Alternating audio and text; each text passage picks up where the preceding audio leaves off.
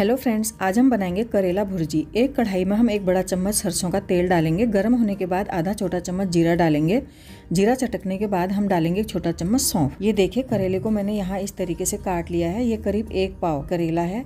ये करेला भी हम कढ़ाई में डाल लेंगे और घुमाते रहेंगे। थोड़ी देर मीडियम फ्लेम में रखेंगे और इस तरीके से पलटते रहेंगे। अब गैस की फ्लेम हम लो कर देंगे और मिलाएँगे इसमें मसाले। आधा छोटा चम्मच हल्दी पाउडर, नमक स्वादानुसार, दो बारीक कटी हुई हरी मिर्च, फिर से इन सबको मिलाते रहेंगे। दो से तीन मिनट हम इसको इस तरीके से पकाएँगे और बीच बीच में घुमाते रहेंगे। ये देखिए, करेला अब पकने लगा है।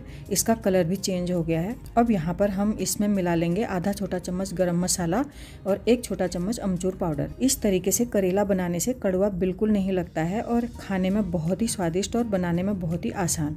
तो ये लीजिए, हमारी करेला भुर्जी तैयार है।